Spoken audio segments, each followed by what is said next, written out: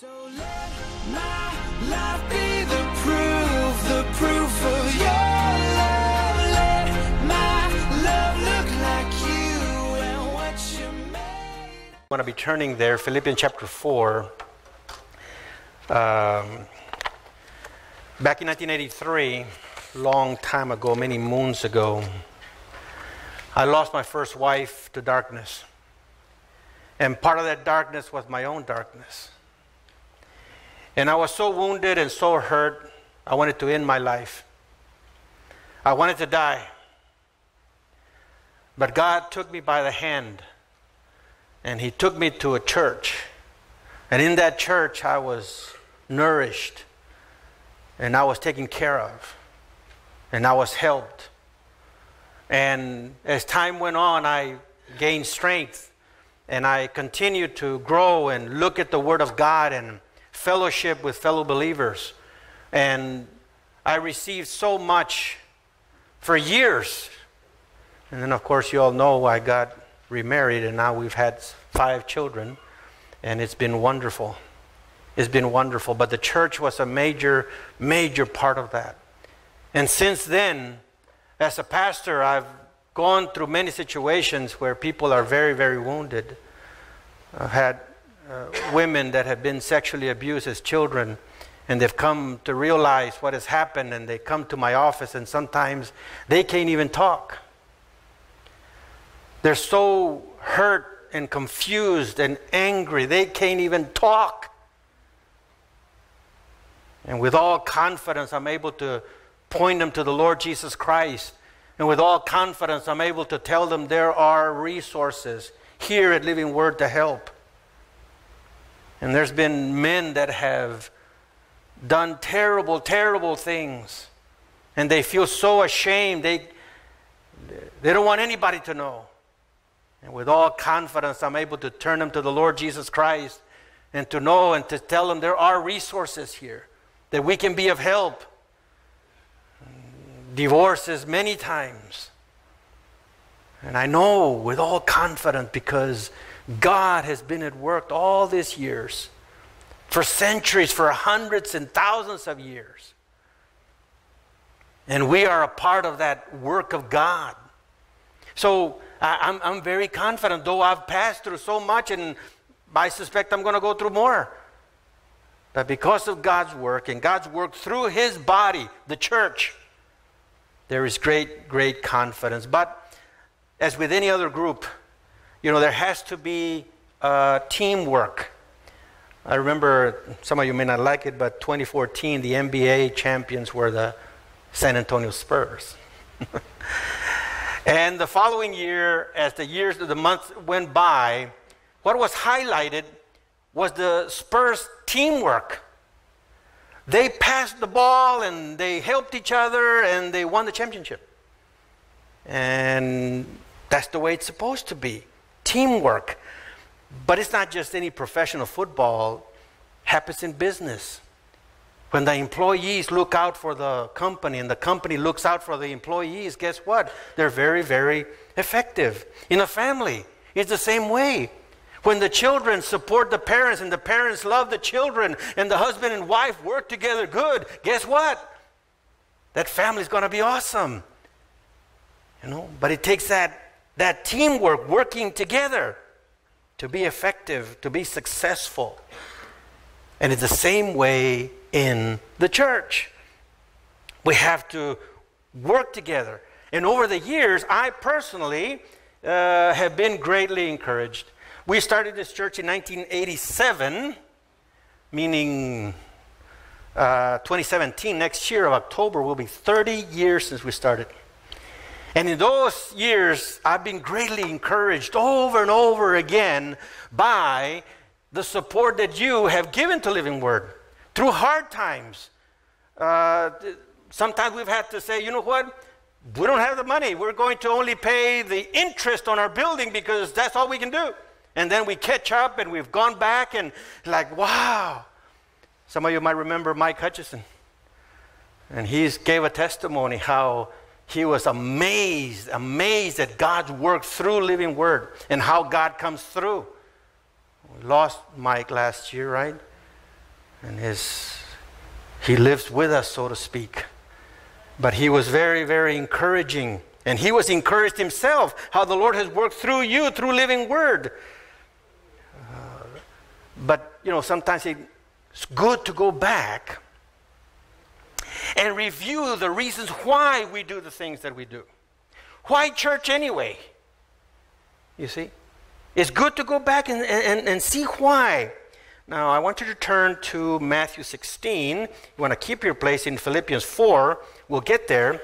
But just uh, look at Matthew 16 because this is God's work. Uh, I have quite a bit of education. Uh, I've read a lot of books, and I've read a lot of books on how to help people uh, through divorce, through their anger issues, through loneliness, through what have you. Many, many psychological books. And there's nothing, nothing, not even close compared to the Word of God and the church, the body of Christ.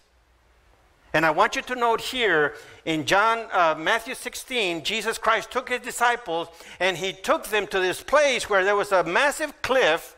And in that cliff, there was little niches carved out and there were different gods that were represented. That people would go to this place and worship their God, their favorite God. And Jesus took them to this place, Caesarea Philippi, and he asked the disciples. So just know Jesus is taking, okay, in comparison to all these gods and what people think, he took them there, John, uh, Matthew 16, and verse 16, or verse 13, let's say. Matthew 16, verse 13. Now, when Jesus came to the district of Caesarea Philippi, remember, that's where all the gods were, he asked his disciples, Who do people say that the Son of Man is? Who do people say that I am? I.e., in comparison to all these gods? Verse 14, and they said, Some say John the Baptist, others Elijah, but still others Jeremiah or one of the prophets. He said to them, But who do you say that I am? Simon Peter answered, You are the Christ, the Son of the living God. You are the promised Messiah from centuries back. In fact, you're not just the Messiah, you're God, you're the Son of God.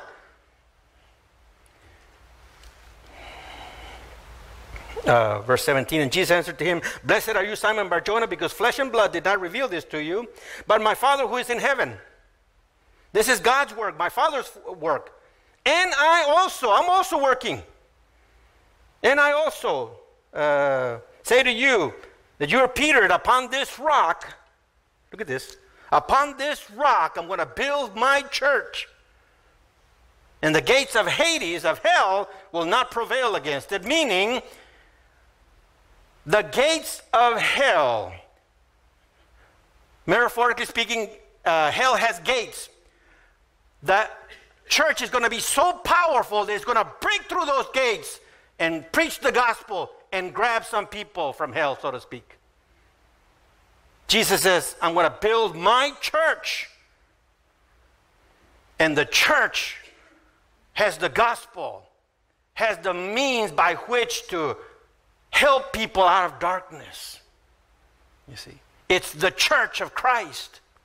And you and I are called to be a part of that church. You see, and that's why I'm sold out. And I can tell you with all confidence that Jesus Christ has provided everything we need for life and godliness. The question is are you part of it or not? Did you note in the reading in Ephesians chapter 4, where our brother read? I turn there again. Ephesians chapter 4. Just want to point out a couple of things as where he read. Um, verse 11.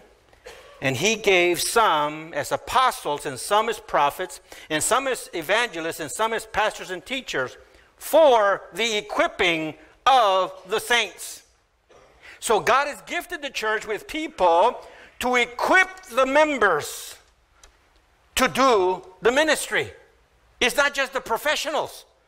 No, it's the members. And every member has a gift, and every member is supposed to be involved in the church.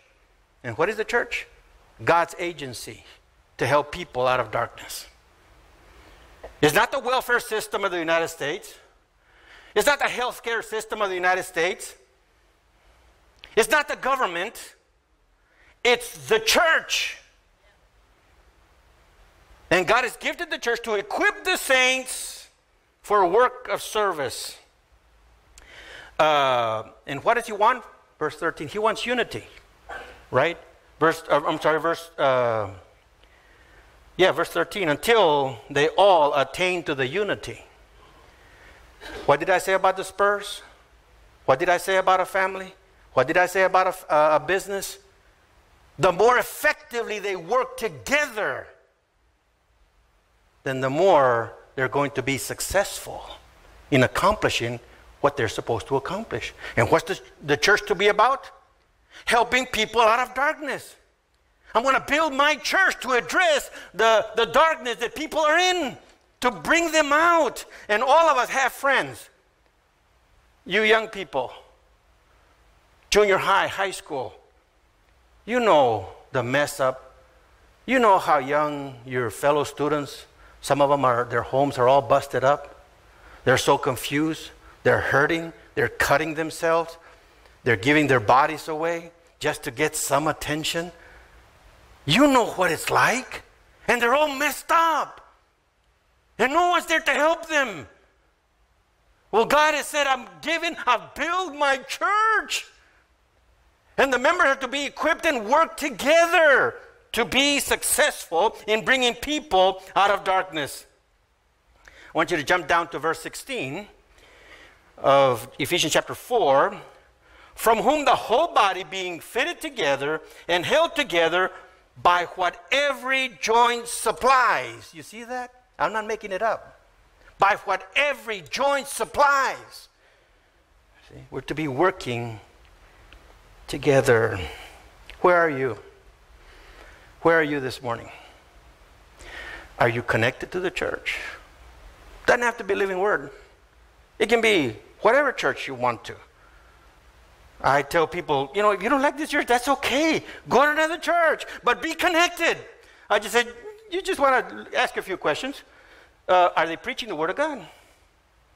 Uh, are you learning the Scriptures? Is there a, a real concentration on God, not self? Is there good community within that church? You see, are they are they reaching others? But still, if it's not the church somewhere, but connect to the church of Jesus Christ. Where are you? Maybe you're just trying to survive, man, because life is a witch. I used a W. Life is, it's hard. And uh, we have to be careful. But are you connected or you're just trying to survive in life? Just trying to keep your, water, your nose above water. How's your Christian walk? Are you wanting to connect to the church, but something keeps you? What is that? What is that? You see, the church is God's agency, and He wants you and me to be a part of it. It's not a, you know, once in a great while, maybe even just, okay, once a Sunday is be enough. It's not about being at church, it's uh, being at church, is being church. You see, wherever you're at, to live the Christian life and be connected to what God is doing. Now, in such a time as ours, it can be very discouraging, especially for our young people again. They see much hypocrisy, they see the materialism, they see the focus is on work, work, work, work, work, work, work, and no relationship. Uh, many times, the young people are very discouraged. So they get all the new stuff they get all the whatever, all the material goods, but there's an emptiness in relationship. And they say, What is all this waste of time? You see? It's a waste of time. So we need to go back and review why church anyway. You see? So back in Philippians then, Philippians chapter 4, this is the end of the of the letter to the Philippians, and what Paul has been saying throughout the throughout, throughout Philippians is like, look, man, when we work together in gospel work, in gospel teams. That we're effective, there's joy, there are rewards, God gets glory. I mean, life is worth being lived for Christ when we work together. But again, we live in times where we're so scared of each other. We're a one man show. We're going to do it ourselves. Thank you very much. I got all the expertise. I got all the money. I don't need you. Thank you. Not good. Not good. So in Philippians chapter 4, I'm gonna, we're going to be covering from verse 10 to 20, 10 verses. And the Apostle Paul is ending this letter here. And uh, I break it up, verses 10 through 14. Uh, encouragement in God dependent gospel team work. Encouragement when we are a team working together. And then verses 15 through 18, there's faithfulness. When we are faithful, then there's a payoff. There's a payoff. Some of you know if you're retired and you've been faithful in putting away, okay, now that you're retired, you know it's, been, it's a payoff because all those years you were putting away and now you can retire. But there's something much greater than just retirement. It's God and His kingdom, you see. And what we find in verses uh, 15 through 18, faithfulness to gospel work pays off. And finally, verses 19 through 20, it needs to be God centered. It needs to be God centered, not self centered. All right? So, first of all, then, let me read the passage. Philippians chapter 4, starting in verse 10. But I rejoiced in the Lord greatly. Now that at last you have revived your concern for me, indeed you were concerned before, but you lacked opportunity. Not that I speak from want, for I have learned to be content in whatever circumstances I'm, I am. I know how to get along with humble means, and I also know how to live in prosperity. In any and every circumstance, I have learned the secret of being filled and going hungry, both of having abundance and suffering need. I can do all things through Christ who strengthens me. Nevertheless, you have done well to share with me in my affliction. In my affliction, note that. In verse 15 following, you yourselves also know, Philippians, that at the first preaching of the gospel after I left Macedonia, no church shared with me in the matter of giving and receiving but you alone. For even in Thessalonica, you sent a gift more than once to my needs. Not that I seek the gift itself, but I seek for the profit which increases to your account. But I have received everything in full and have an abundance. I am amply supplied, having received from Epaphroditus what you have sent a fragrant aroma, an acceptable sacrifice well pleasing to God. And my God will supply all your needs according to his riches in glory in Christ Jesus. Now, to our God and Father be the glory forever and ever. Amen. God dependent gospel work. We need to be partnering, and it's God centered. It produces joy and glory to God. It produces eternal life. It produces what we all long for you know, as a, as, a, as a young boy, you can say, you know, man, if I had that toy, and when I have that toy, oh, I'm happy. and as we get older, we want bigger and bigger toys. But what we're wanting, really deep down in our soul, is satisfaction and joy. You see? We, it's still the same, right? Well, here, what the Apostle Paul is saying listen, what fulfills and brings you joy now and forever is God and His work. So be a part of God's work. And so he says, um, first of all, there's great encouragement when you're part of a team. And so that's what he starts off with in verse 10. Um, there is rejoicing in, uh, when Paul says, Man, I rejoice in the Lord. Notice it says, In the Lord. That's very important because that means in God's work. In God's work, because it can get very confusing. Oh, I'm encouraged that you sent me money. Oh, that money encouraged me. That money encouraged me. No. What Paul is saying, I rejoice greatly in the Lord, in the work of God. And you're a part of that. in that you send me money. You, you got concerned again in a fresh way. Paul had been to Philippi a number of times, and now, eh, back then, they didn't have cell phone, they didn't have email, they didn't, it was, you know, they didn't even have snail mail. I mean, you know, so by the time that he visited, it might have been six months later that he got the news or gift or whatever. So he's saying, look, uh, it's so good to have you concerned about me again. Uh, we can all can identify with that at some point because we can go on and on and on and finally somebody gives us a call and say hey how are you? Somebody cares? Somebody cares? Yeah I, I, you were having trouble with your whatever business your spouse your children. How, how are things going? Like somebody cares. Wow and paul says man philippians you revived your care for me again it's not that you didn't care, but now you lacked an opportunity, and, and there's come here and you send the gift. But Paul wants to make it very clear listen, it's not that I'm dependent on you. That's not the point. Ultimately, I'm dependent on the Lord. You see? For now he wants to clarify, right? In verse 11. Not that I speak from want, I'm not begging you, for I have learned to be content in whatever circumstances I'm in.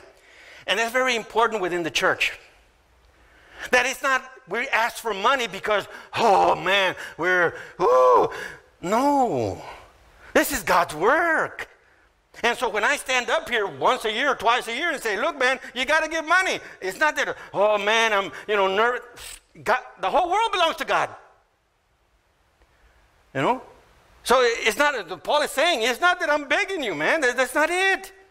Because I've learned to be okay in all circumstances. You see? Have you gotten to that point where you're okay? And then he spells it out a little bit more. Because we all need to have it spelled out a little bit more. Verse 12 I know how to get along with humble means, and I also know how to live in prosperity. In any and every circumstances, I have learned the secret of being filled and going hungry, both of having an abundance and having need you know what? It's going to be okay. I want that new. But if I don't get that new, it's okay. I want to be respected by my spouse, but when it doesn't happen, I know how to be it's okay. I want to be loved by my spouse. When it's not, it's going to be okay. You see? I want my children to obey, but when they don't, it's going to be okay. I don't have to go crazy. I know. I want to have a steak, but if all I have crackers, I'm fine. I mean, we can go on and on and on. And in the Christian life, that's what we need. And the Apostle Paul is saying, I'm rejoicing greatly in the Lord because I see the hand of God, the work of God continuing, helping people. And you Philippians have been a part of this.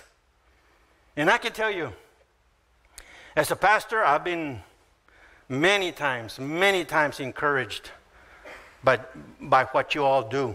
Support Living Word. And some of you supported my wife and I directly, have given us gifts. I can, I can name and point to a number of you that have blessed us beyond measure. And I've been greatly encouraged. Not that I, we're okay if it didn't happen. You see? Because the Lord sustains us. You see? And that's what the Apostle Paul said. I've learned how to, on both. I, I, have been treated to, to, to a cruise, my wife and I. And it just hit me up beside the head. Like, wow, where did that come from? And I, whoo, we enjoyed it, didn't we? It was just it was lovely. It was great. You know, uh, I've been sent to Israel. Uh, this friend told me, I was sent to Israel. You crazy. And we just kept having lunch. He said, No, look it up. Shut up. Kept eating. He brought up the third time. I was like, You're serious? Yes, I'm serious. Like, wow. And there's other times that I've been so lonely and hurt. I want to quit. No. Learn how to be okay that the Lord is my all sufficiency. And so when I come up here and ask that you need to be supporting the church, it's not that I, I, I'm begging or anything. it's God's work. And when I see God's work, it's just awesome. And that's what the Apostle Paul is saying. And now in verse 13, people have read this passage and they misquote it, they misapply it all over the place. Right? I can do all things through Christ, through Christ who strengthens me. Meaning, I'm going to make this company make a million dollars. I can do all things through Christ. Right? Meaning, I'm going to heal somebody because I can do all things in Christ's name. You have cancer in Jesus' name, and we're going to do it. I mean, that's not what he's talking about there. What is he talking about? That he can do okay whether he's hungry or where he's prosperity, he's going to be walking with God. That's what he's talking about. I can do all things through Christ who strengthens me. Got to read the context there. People misuse this passage all the time. And then he goes back to the Philippians. The Philippians, you know what? It's good that you are sharing with me that word. Um, nevertheless, you have done well to share, S H A R E, uh, but in the Greek it's a long word. it's um, together fellowshipping. I don't know why they just added, you know, preposition in front and they connected it. It's a huge word like this. But, you know, as you look it up and what he's talking about, he says, You're fellowshipping with me in my afflictions. Why afflictions? And I want you to go back all the way to the beginning of Philippians chapter 1, the beginning of the book, and he uses the very, very same long Greek word. Um, in verse 7. Philippians chapter 1, verse 7. For it was only right for me to feel this way about you, uh, all because you have, uh, you have, I have you in my prayers, since both in my imprisonment and in the defense and confirmation of the gospel, you are partakers. Same long word you are fellowshipping with me. You are partaking in my suffering, in my imprisonment, in all that I'm going through. You're partnering with me. You see? We are working together. We are a team. And that's what he's saying. Look at verse 5 of chapter 1. Um, in view of your participation, there it is again. Fellowship in koinonia in the gospel from the first day until now. And that's what Paul is rejoicing in. That the Philippians are working together with him for what? To share the gospel. And what is the gospel? It's the power of God to bring people out of hell and take them to heaven forever and ever. That's the gospel. And Paul is saying, You are part of this. You've done well to be a part of what God is doing. You see? And he's saying, Man, I'm so encouraged. Back again in verse, chapter 4 in verse 10. But I rejoiced in the Lord. And when you, each one of you, are part of what God is doing, you too can experience that. Oh man, this is great. But if not, then you're going to turn to Walmart you're going to turn to Red Lobster. You're going to turn to whatever, and that's it. Nothing that's going to last. You see, it's God and His kingdom that last and bring lasting joy. And that's what Paul, the Apostle Paul is saying. Man, I, I rejoice greatly. You did well, Philippians, to, to support me in this, in my afflictions, you see, in my sufferings for the gospel. And now he goes on, he says, You know what? You've been faithful, and that faithfulness pays off.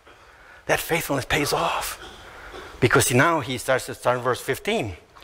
Uh, you yourselves also know, Philippians, that the first preaching of the gospel after I left Macedonia, no church shared with me in the matter of giving and receiving, but you alone.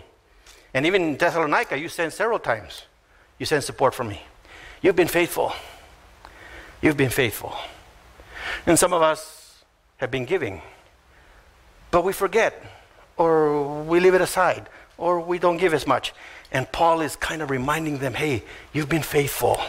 Stay faithful. Because why? Because being faithful to the work of God pays off. Pays off. Look what he's saying again in verse 17. Once again, he wants to remind them it's not about me, guys. It's not about giving money to me, the Apostle Paul says. But look what he says. Very, very interesting. Verse 17. Not that I seek the gift itself, but I seek for the profit which increases to your account. What the words is he talking about? He's talking about rewards that God, and you know, we're all multi motivational. We want to escape judgment, yes. We want to be with loved ones, yes. But we're also creatures of God says, you do well, then you're going to be rewarded. The Apostle Paul is talking about rewards. You stay faithful to the Lord, guess what? It's going to increase to your account. Talking about heavenly rewards. Uh, well, I want it right now. And that's the problem, right? We demand that it happens right now in this lifetime. No, the Apostle Paul, I know there's some great motivation deep within you. You stay faithful to the work of God, it's going to increase to your account. That's number one. It pays off to be faithful to the work of God, to work with a team. But then in verse 18, but I have received everything in full and have an abundance. I am amply supplied, having received from Epaphroditus what you have sent. Uh, in other words, I'm fully supported by you. What you have done has succeeded in fully supporting me. You see? You've been effective. And in that being effective, the third thing is look at what it says. Very, very important. The last part um, a fragrant aroma, an acceptable sacrifice, well pleasing to God. A frag- uh, fragrant aroma. Turn to that old, old book, the book of Leviticus. I know you might have to say, take the dust out of there, right? Leviticus chapter 2. Leviticus chapter 2, and there, uh, second uh, offering sacrifice that was being described that the Israel was supposed to bring, and that sacrifice was to show a dedication and devotion to God. The grain offering. Okay, it's kind of complicated. If you want to, you can go to the website, you can listen to the whole sermon on this uh, chapter. But it, it was a, a, an offering that said, God, you're being so good to me. I want to dedicate my life to you and I want to give the best to you. That's the, that's the sense of this sacrifice. And I want you to know uh, Leviticus chapter 2, verse 1. Now, when it, any person, any person, man or woman, any person, anyone presents a, a grain offering as an offering to the Lord, his offering shall be of fine flour and you shall pour oil on it and frankincense on it. Fine flour, and by the way, fine flour, if you read it in read the whole chapter when you have a chance, it's repeated five or six times. What's the point of fine flour? You present the absolute best to God. You present the absolute best to God. That's what it means. And you, you and, and, you put oil. Uh, you make sure that it's right. You see? And then frankincense, something that smells really, really good, like incense. Wow. Jump down to uh, verse 9 of Leviticus chapter 2.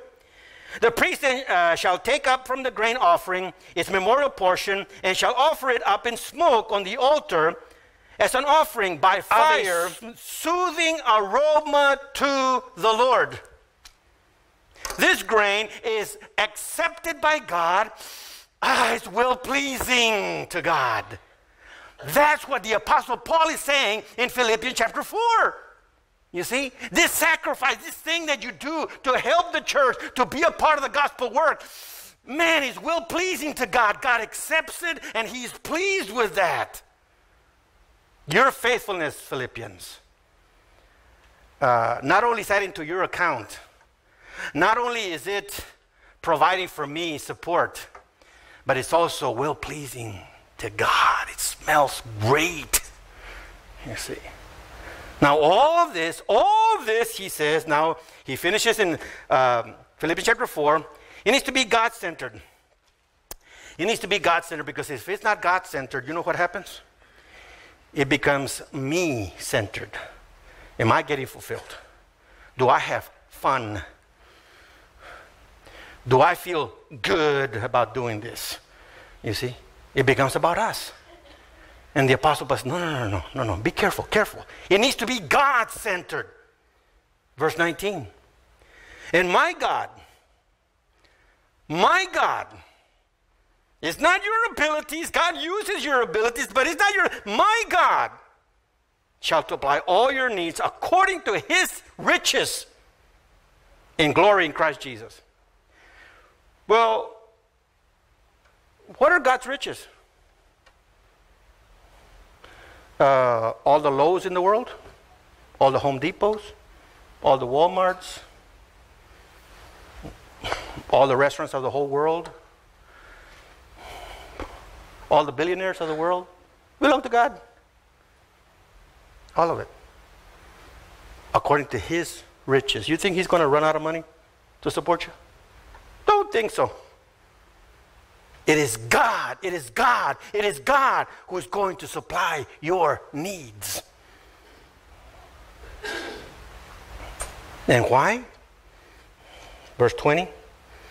Now to our God and Father be glory forever and ever. Amen. And we could stay there a long time. God's glory. He's the creator. He's our Savior. He's patient. He's loving. He's holy. He's just. He sympathizes with us. He gives us everything we need. He gave us His only begotten Son. He gave us His Word. He gave us His church. He gives us everything we need. He is most glorious. He is most glorious. The moment we start looking away from the glory of God, we start looking at self or other people, it's only going to take us down the wrong path. It needs to be God centered. And that's why, as a church, you say, what are we to be about? Glorifying God by helping people out of darkness, you see? And we need to be working together, working together. So then, where do we begin to apply it? Well, let's start first of all that we need to trust God. Right? Trust God. The whole Levitical system, the sabbatical system, that they had to work six days, and the seventh day they couldn't work. They were not allowed to work. It's a Sabbath unto the Lord. And then they had other Sabbaths where they had to give the land back. They had other Sabbaths where they had to forgive all the debt. I mean, had, and what does that mean? Well, they had to trust God. They had to trust God that, they were, that God was going to provide. You see? And so that's where we need to begin to trust that God will supply your physical, emotional, spiritual needs as you give to the Lord.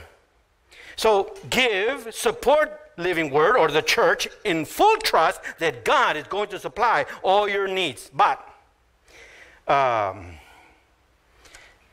you need to remember that supplying and giving to the church is not about that. It's about this is what brings glory to God. This is what keeps the, the ministry going that God is doing, you see? Because if we just focus on, oh, I gotta give, oh, I gotta give, oh, I gotta give, well, you know, we stay stuck in that and we don't look at the bigger picture. It's about glorifying God and it's about getting to know Him. You know, again, we go to the Sabbath in the Old Testament and the people had to trust that God was going to supply. It's like, is He going to supply? Maybe not. Is He going to supply? And then God would supply. It's like, I guess He keeps His word. I guess God is faithful.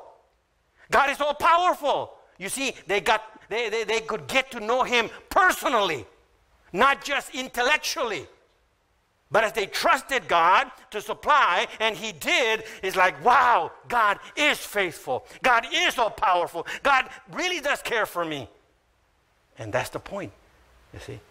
So, trusting God. Um, something very similar is not just trusting God, but honoring God. Honoring God. Now, I've already said it, we need to focus on the glory of God, but look at children. When you honor your parents, you're honoring yourself. When you're dishonoring your parents, you're dishonoring yourself. It's very simple to know. when somebody at school puts your mother down, why does it hurt? They're putting you down, right? We need to honor God. As we honor God, we end up honoring ourselves. You see? As we give to the work of God, as we honor Him with all that we have. You see? And, and it goes down the line, whether it's uh, parents, spouses. Listen, you dishonor your spouse, you're dishonoring yourself. You honor your spouse, you're honoring yourself. I mean, that's just the way it is. Uh, we can stay a long time there. Uh, I want you just to, uh, the greatest glorification that God is glorious is what? The gospel, right? Because that's the greatest work. Uh, in fact, in John 17, John 17, I'm almost done, take it easy. John 17, um, verse 1, right? This is, the, this is the Lord's Prayer. This is right before he got crucified. And I want you to note, John 17, verse 1. This is right before he got crucified. He knew he'd been rejected and he was going to go to the cross. John 17, verse 1. Jesus spoke these things, lifting up his eyes to heaven. Now he's talking to God the Father directly. He said, Father, the hour has come. Okay, Father, it's time for nails to go through my hands and my feet. It's time for me to get crucified. And what does he say next? Glorify the Son that the Son may glorify you. You know, when a woman has a baby, she's glorious. She's glorious. When a man fights against evil, and he really fights against evil, and he stands strong in the Lord, he's glorious. Jesus says, I've come to die on the cross. Okay, Dad, let's get it on. Glorify the Son, that the Son may glorify you. It's the glory of God, the gospel, you see.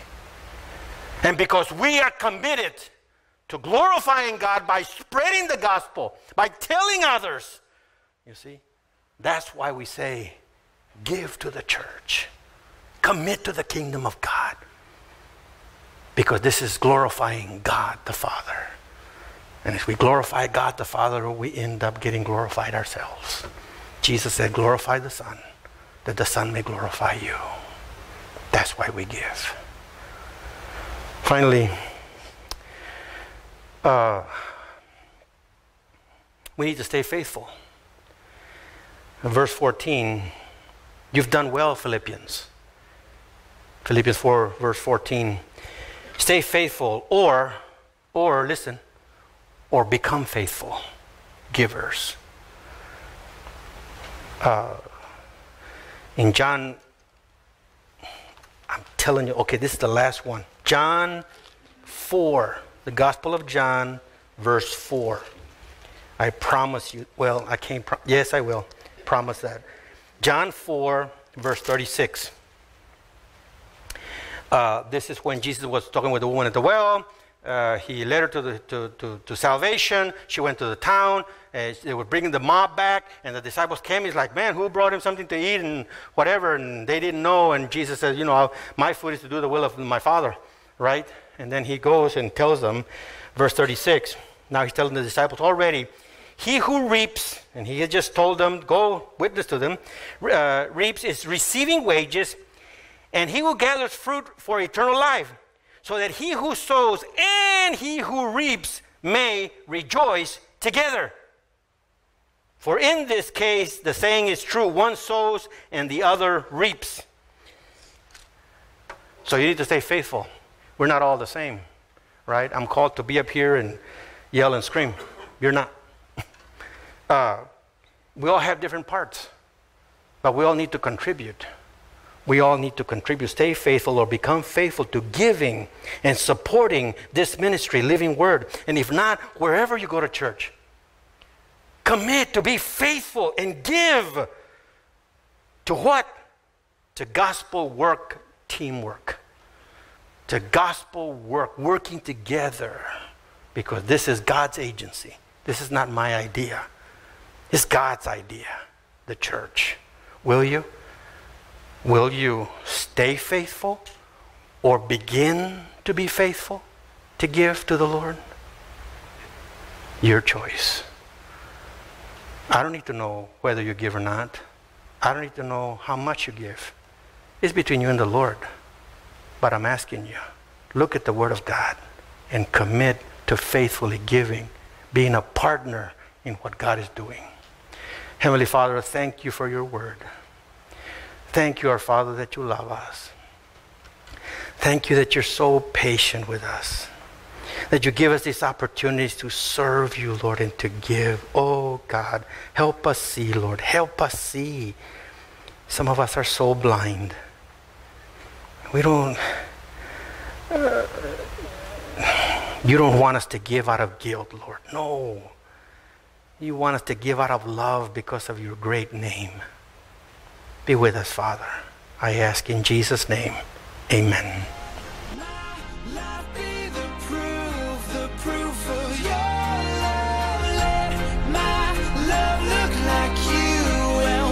you